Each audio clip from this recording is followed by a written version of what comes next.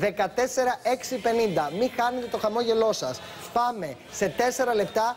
Δύο από εσάς θα είστε κατά 15.000 ευρώ πλουσιότεροι. Με ένα τηλέφωνο ή με ένα μήνυμα. Αυξήστε, πάρτε 10, 20, 30, 40 φορέ το 14650 ή στείλτε γραπτά μηνύματα Α και το ονοματεπώνυμό και αποστολή στο 14650 για να είστε εσείς οι μεγάλοι απο... σημερινοί νικητές των αποκαλυπτικών. Σε 4,5 λεπτά γίνεστε κατά 15.000 ευρώ πλουσιότεροι και όχι τίποτα άλλο.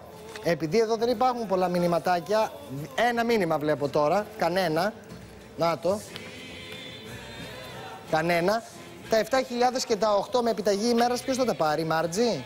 Πάμε να δούμε το ρεπορτάζ της ε, Τζοάννας και επιστρέφουμε. Τη Μάρτζι περιμένουμε.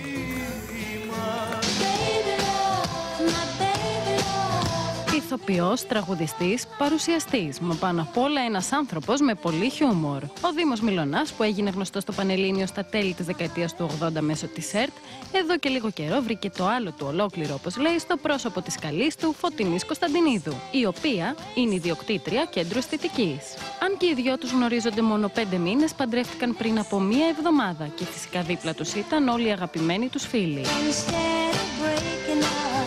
Ο Δήμο και η Φωτεινή μας άνοιξαν την πόρτα του σπιτιού του στο γουδί και μας μίλησαν για τη γνωριμία και τον έρωτά τους. Πώς είναι ο έγκαμος βίος, μία εβδομάδα παντρεμένη. Όπως είναι και ο άγαμος. Είναι μια χαρά. Δεν άλλαξε κάτι για μας.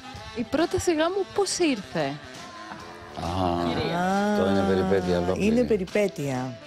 Ε, να σου πω την αλήθεια, είχαμε πάει, νομίζω στον πρώτο μήνα, πήγαμε στην Ιταλία. Και έγινε στη Βενετία η πρόταση γάμου, έγινε εκεί. Δήμο, ήσουν αποφασισμένος για την πρόταση γάμου στον πρώτο μήνα; Έχω κάνει προπόνηση εγώ. Οπότε δεν ήμουν κάτι άγνωστο. Απλά πρέπει να βρεθεί το υποκείμενο.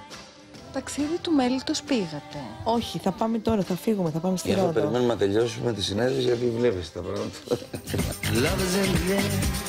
Πώς γνωριστήκατε; Ε, γνωριστήκαμε σε ένα κλαμπ, γιατί έχουν ακουστεί πολλά. Γνωριστήκαμε σε ένα κλαμπ Τι εννοείς; στο Skyfall. Ότι έχω πάει στο σπίτι του ηθοποιού και σε γνώρισα εκεί, έχω ακούσει. Εντάξει. Και πώς έγινε το μπατυρντή. Έχω σηκωθεί, έχω πει ένα τραγούδι έτσι. Ξεφυλίζοντας από τα όνειρά μου. Και μόλις τα ξεφύλισα, έκατσα, περίμενα. Να ξαναπάει το βιβλίο από την αρχή πίσω, να το ξαναβγώ.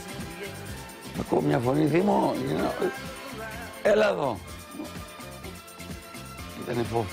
Την πρώτη κίνηση ποιος την έκανε; Είπαμε, η φόφη. Δήμο, έλα εδώ. Και πήγα στο τραπέζι πίσω που ήταν έξι ξανθές, μεγάλες σε Την ηλικία. πρόσκληση, μας λέει και μεγάλη. Ναι, δεν ήταν Ντροπή του, αλλά μικρές. Το συγχωρούμε. Ανταλλάξαμε τηλέφωνα, βγήκαμε ραντεβού. Εμείς με το Δήμο από τη δεύτερη μέρα μένουμε μαζί. Αυτό ήταν και ραυνοβόλος έρωτας, δεν εξηγείται αλλιώς. Ε, υπάρχει μελέτη των φυσικών του Πανεπιστημίου του Σουψάλα, οι οποίοι μας μελετούν σαν φαινόμενο. Δεν μπορώ τίποτα άλλο να πω. Ναι. Γυναικοπαρέα που ήσασταν εκείνο το βράδυ μαζί. Τι έλεγε, έλεγε βουρ στο ψητό. Πάθανε λίγο και αυτές, δεν το περιμένανε, να σου πω την αλήθεια, ότι θα εξελισσόταν έτσι η γνωριμία. Φαντάζομαι τον ήξερες το Δήμο. Μεγάλωσε με ένα όριτσι. Ε, Βεβαίως, ποιος δεν τον ξέρει το Δήμο; Σου άρεσε πάντα ως άντρας. Ήθελες να τον Δεν γνωρίσεις. είχα σκεφτεί ποτέ μου, να σου πω την αλήθεια. Όχι. Ως άντρας εννοεί να τον παντρευτείς.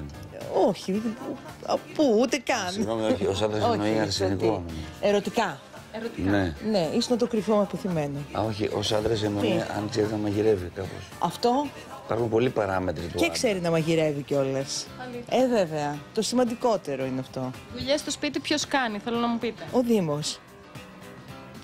Έχω μια μονή με την καθαριότητα και την τάξη. Κατσαρόλα, φασολάκια. Ε, Θα την ανάποδα καθαρά. Ρε. Το απόγευμα ξυπνάς για το γλυκό σου και είναι καθαρά. Δεν έχει πλύνθη κέραμη. Έχει ένα θέμα. Ναι, ναι.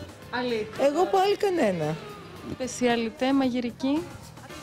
Δεν έχω θέμα από φαγητά. Αλλά όλα, δεν δεν με βλέπεις άλλωστε. Βλέπεις να έχω θέμα, να μην τρώω. Όλα τα φτιάχνει. Καλά. Πολύ καλά. Εσύ Δήμο, όταν πήγες στο σπίτι του ηθοποιού και ξαφνικά βγαίνουν τα δημοσιεύματα, ο Δήμος Μιλωνάς στο σπίτι του ηθοποιού. Ο Δήμος Μιλωνάς ε, πεινάει, κάνει ράνι. Πώς το αντιμετώπισες; Γιατί να πεινάω; Μα δεν ήσουν στο σπίτι του ηθοποιού όταν βγήκαν τα δημοσιεύματα. Ή ήσουν εδώ και λέγανε. Α, ναι, ναι. Στεναχώρησε εσένα όταν το διάβαζες; Καθόλου.